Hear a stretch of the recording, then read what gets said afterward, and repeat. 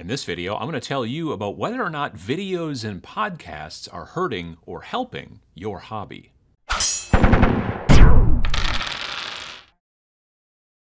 I find it difficult to hobby in total silence. Admittedly, I rarely have total silence at our house. There's cats walking around, there's my wife making noise, doing things that, you know, just living her life.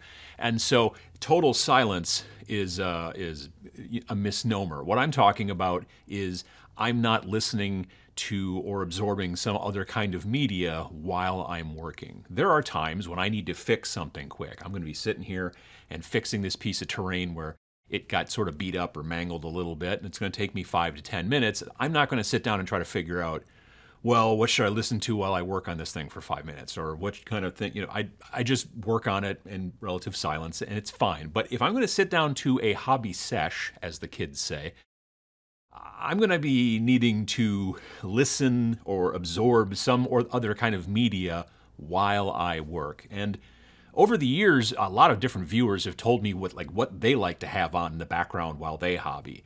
Stuff from, you know, podcasts, videos, YouTube videos, television shows, movies, uh, music, all kinds of stuff like that.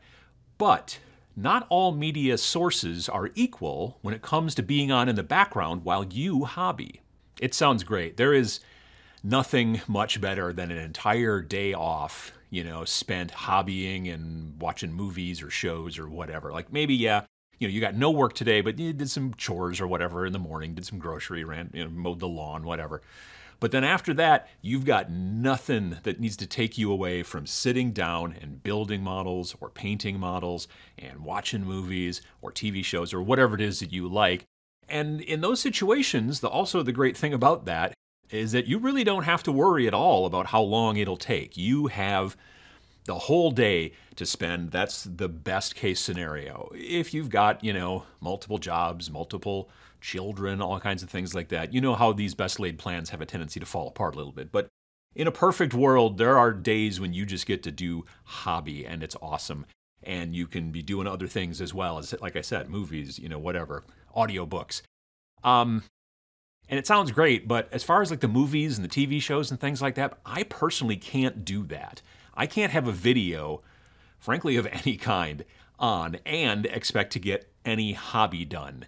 And especially for me these days, frequently you need to get stuff done on a deadline. Sometimes deadline is a strong you know term unless you're like a commission painter then you do generally have deadlines you know but if i'm talking about i'm not a commission painter I may still need to have things done by a certain time. Maybe I'm going to a tournament. Maybe it's a local tournament at my store.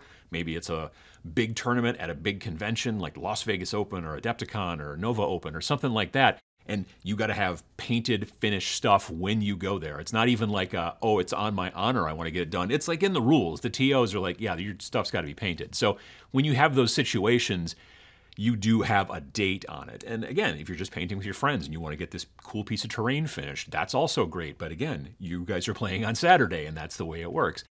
And if you're anything like me, which you might be, you've probably procrastinated or potentially poorly planned, and you don't have as much time as you would like. So that whole kind of pipe dream of just spending the day you know, watching movies or listening to things or doing whatever while your hobby is not helpful. You actually need to get stuff done. So you need to get it done and keep focus to get it done quickly.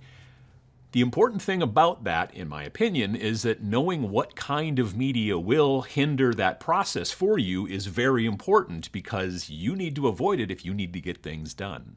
Now, when I'm talking about media, what am I talking about? Well, there's obviously lots of different types of media. Music is one. Some folks um, can't concentrate on too much audio text. So music like works great. They can't listen to like an audiobook or they can't listen to a podcast or something like that while they're hobbying because they stop paying attention to it and all of a sudden they're like, wait, what'd that guy say? And it depends on different people. People's brains are written different ways. So some people are just like, I can only just listen to background music when I am hobbying, and that's fine. Uh, then the question comes down to lyrics or no lyrics. I can't write, whether it's like you know, regular normal copy, marketing copy, something like that, even emails sometimes, um, while I'm listening to lyrics or music with lyrics. I just can't do it. I certainly can't like write HTML code and stuff like that while listening to even techno with like limited music or lyrics or something like that, I just can't really focus as well as I should when even someone in the background is just vaguely kind of got some sort of lyrical stuff going on. So in those situations, I have to find stuff that's totally instrumental. And you may be fine with listening to lyrics while you're working on something, but other things may cause problems. But knowing what type of music, if that's what you like while you're working, knowing what you can find and then using some sort of service that you can kind of limit things and say, oh, well, no, you know, all instrumentals, please, you know, from your Spotify or Pandora or whatever. That's actually really helpful. Now, podcasts, for me, podcasts are one of the sweet spots because some people, like I said before, can't focus on the podcast while building or painting. They just they've got an internal monologue that's going on as they're working on these parts. Well, now I got to try to get this to fit, and I got to do this and whatever. And then all of a sudden, they stop listening to the people who are talking about true crime or whatever that you're listening to. Um, the downside for me is. I, well, hey, the upside is I don't have that problem. I can listen and absorb podcasts quite well for hours and hours and hours while working on a hobby. The downside is is that I don't listen to a ton of different podcasts. I'm kind of fussy about my podcasts. And because of that, I have a tendency to go through the content pretty quickly and I get all caught up. And then I don't have tons of different podcasts to listen to because I go through them too quickly and then I run out of things to listen to. So that's sort of the issue with podcasts. But if you just like to listen to all kinds of different people talk, then podcasts can be great for that because they're generally free and there can be across a ton of different uh, interests of yours or potentially new things you've never even come across before, and you'll be able to have something. I mean, there are so many podcasts out there, you'll never run out, but if you're fussy like I am, you might. Another great sweet spot for me audiobooks. Um, the big benefit, I listen to a lot of audiobooks, but the big benefit for me as well is that they have this added kind of aspect of motivation to them, right? like I'm listening to this story and then I have to stop at some point. I'm listening to the story while I'm hobbying and now it's I got to go to bed or I got to go to work or I got to do something else and I have to stop for a bit. But now I'm thinking about the story that I'm listening to and I'm like, well, I wonder what happens next. What's this character going to do? What's that character going to do? That kind of thing. And so I want to get back to the story. And I am generally not the type of person who just puts on some headphones and then just sits there and listens to an audiobook like just like alone in the living room or whatever. I like to be doing something while I'm doing it. So the motivation to keep listening to the audiobook, um, I keep my headphones for the audiobook stuff downstairs in the basement and they're next to my hobby table. And so I'm sitting at my hobby table. I might as well do some hobbying while I'm doing it. So you get that added motivation benefit. Um, the other big benefit to audiobooks is that I never run out of any audiobooks because I use, um, well, I use Audible. Here's a real quick ad. You can get a 30 day free trial of Audible and in that free trial, you'll get a credit, uh, two actually credits if you're already an Amazon Prime member, and that's kind of neat. That's a new thing. Uh, they're good for whatever premium title or titles that you might like. And those titles are yours to keep if you cancel. So you do the 30 day free trial and you're like, nope, I'm done. Uh, you, you get to keep those books. You also get access to the Audible Plus catalog of podcasts and audiobooks and Audible originals. I've listened to some of those Audible originals, and I, uh, there's a couple of them I really like. Uh, Yahtzee Croshaw, if you remember him, he does a video uh, YouTube thing called uh, Zero Punctuation, where he reviews video games. He's also an author, and I've a bunch of his books have been on audio uh, Audible originals, and I, I dig them quite a bit. You can listen all you want. No credits are needed while you're using your free trial. And then lastly, and I think this is also a really nice thing, they send you a friendly reminder via email before the 30 day trial ends so that you can decide if you want to keep it or not. So it's not just like a gotcha, haha, we got your credit card information. It's you you you you get a reminder, which is also really cool. You can go to uh, www.audibletrial.com uh, slash tabletop minions right down there on the bottom of the screen. It's also in the description below, and you can sign up for your free trial and free credit or credits if you're already a Amazon Prime member. This is a, a referral link, and it's uh, you know it helps out the channel, and it also gets you a free 30-day trial and a book, or maybe a couple of books. So, thanks to the folks over at Audible so YouTube and streams, different types of streams, live streams, Twitch, whatever, all that kind of stuff. This, I also, while I'm trying to hobby by myself, I can't do. But plenty of folks can, as I've found out over the last almost two years of streaming twice a week on Twitch. People come and they sit and they listen as they're doing their hobbying. They also do it on the Every Other Sunday show that I do here on YouTube, and that's great. I can't do it though. I can't like be working on something, even if it's just a dumb talking head like me sitting there, I still end up have a tendency to focus on it. And then I'm painting and then I'm not paying attention to what I'm painting. And it doesn't work out to me. I get too visually focused, is what happens. Um, but if you don't have that same problem, there is obviously so, so, so much out there. And uh, if you do that, playlists are also great because then it just shows you a video, and when you're done, you don't have to stop and try to find another video. It just takes you to the next one in the playlist. So take a look for that, specifically on YouTube.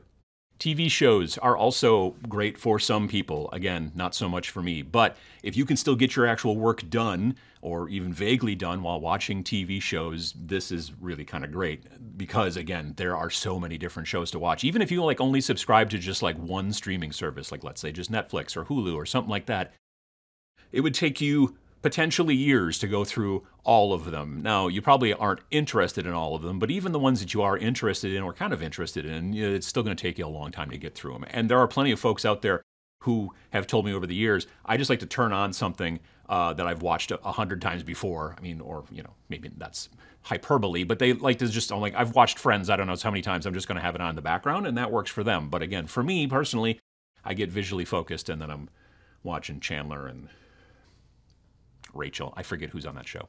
And then one of the last media types that you're going to potentially uh, ingest while trying to hobby are movies. Now, for me, I enjoy movies too much, uh, like as a medium, to do anything else really while I'm also trying to watch the movie. Like, I don't even particularly like to eat while watching the movie because I'm going to miss some audio or something like that. You, you know, you're getting the spaghetti on the fork and you missed a thing because you were like doing this. And uh, so I, I'm, I'm not a big fan of watching movies while hobbying either or anything. Even movies that I've seen dozens and dozens of times, like Robocop, which is one of my favorites, I still want uh, and need to focus on the, the, the actual the visuals and all the the whole experience. Other people don't have this same. We can call it a problem, I guess. So what do you do here? I think the important thing is to figure out what kind of building or painting or whatever that you need to do currently. You know, do you have a deadline? You like, I got to get this done for the game on Saturday or the tournament in two months or whatever the deal is? Or do you just want to sit down and have a good time like that aforementioned? I got the rest of the day, the rest of the day free to do whatever I want. If you do that, doesn't matter how fast you get things done, and you can, if you have a really good time, kind of slowly sort of working along on some hobby stuff while enjoying the movies that you like or the TV shows or whatever, then that's a thing that you should do. But again, if you are like, I'm on a deadline, it's important to try to at least figure out what can I do to hit that deadline. Once you figure out what kind of media helps or hinders your hobby production, you'll know what to use or to stay away from when you sit down next to hobby. When you're like, I got to get this done, I got to then just listen to audiobooks or something like that because you know this audiobook is 27 hours and I will just be able to just tear through some cool stuff. On the other hand, if you're like, uh, I need to get this done eventually, but I kind of don't care when, and it doesn't really matter, then you can be having on videos in the background, you know, that kind of stuff. And, and sometimes people, again, can just listen to a video, and that works great. Other times, it's a situation where they, I've seen tons of pictures of people who hobby right in front of their computer, and the monitor is right there, and that's fine. I can't do that. Also, I will get paint on the monitor, and I don't want to do that. But Generally, I can't do that because I don't like to split my visual focus that way. But for if, if that's a thing that you don't mind doing, uh, even if it may slow you down or not, uh, definitely head into that direction if it keeps you producing.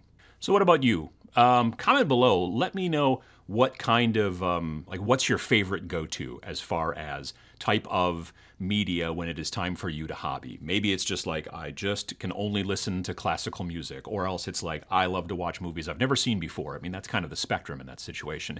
But figuring this out can really help you to hit deadlines when you need to hit them, which can lower your stress. Being able to go, I will be able to make this deadline, generally lowers a person's stress. But there's nothing worse than sitting down to a fun time of lower stress and then kind of doing your hobby real slowly, and then you miss your deadline, which then can raise your stress. You show up to the game and your stuff's not painted, or you're like, oh, you know, whatever the deal is, and that's a bummer. Your hobby should be fun, and figuring out like which media works best for you in which situation, eh, well, that can even make it even better.